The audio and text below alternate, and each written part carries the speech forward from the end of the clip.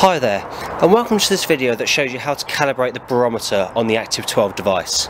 Now the first thing I've done uh, just to demonstrate how this works is to set up the data boxes that show the elevation from the various sources. So we've got here from pressure, from maps and from GPS. Now this video is going to be in a number of parts. First of all I'm going to show you how to change the source for the barometric altimeter. I'm also then going to highlight how to do that in the auto mode and the manual mode and lastly just some general tips and advice on how to use the barometric altimeter. So first of all then I'm going to show you how to change the elevation data source and this is done via the main menu which you can access via this uh, button at the bottom here and then once you're in the main menu you need to press settings you then need to scroll up or down until you get to the elevation option and press select and the top option here the elevation data source gives you a number of options and the first one is elevation from pressure then the second elevation from GPS and last, lastly elevation from maps. Now this changes what data source goes into the resulting trip log file so whether it's a GPX file, a TCX file or a .map file this is what the setting controls. Now I'm going to show you how to calibrate the barometer using the automatic method or the auto method. The first thing you need to ensure is that this elevation data source is set to elevation from pressure, which it is now. And the next you need to scroll down to the uh, altimeter calibration method and make sure that's set to auto. You then need to press select and then the auto recalibration frequency, you can set that as appropriate and that's discussed in more detail later. But for now I'm going to set it to two hours. And then you need to hit press the calibrate now button. However, the most important thing when using the auto calibration method is to make sure you have an accurate GPS lock. And I've got that at the moment, which is shown by the four green bars here, or even better if you've got four uh, blue bars.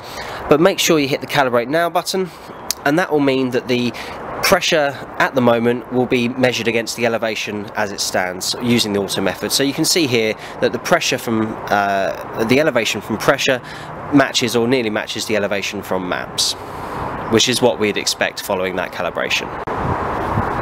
Next I'm going to show you how to use the manual calibration method.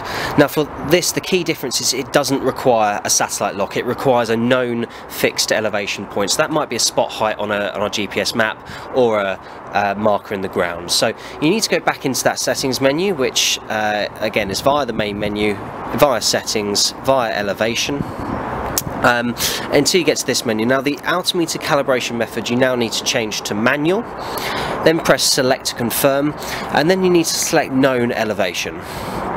When you do that you get greeted with this data box and you just need to enter in your known height in there. So I'm going to choose 500 meters uh, by default and then press done to confirm.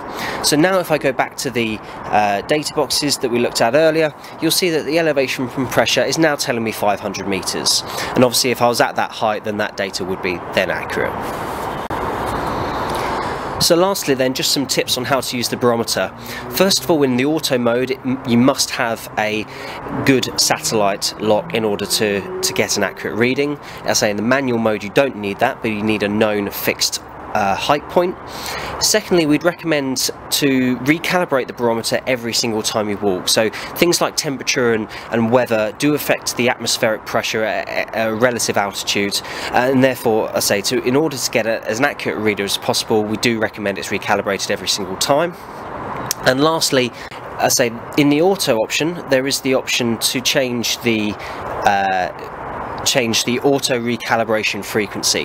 Now this, I say, we recommend shorter when you have uh, constant changes in temperature and weather and recommend longer if the temperature and weather are going to be consistent throughout the duration of your walk. And that's just so that it doesn't uh, over reset too many times but it resets enough to to accommodate for the changes in in temperature and weather. Thank you for watching this video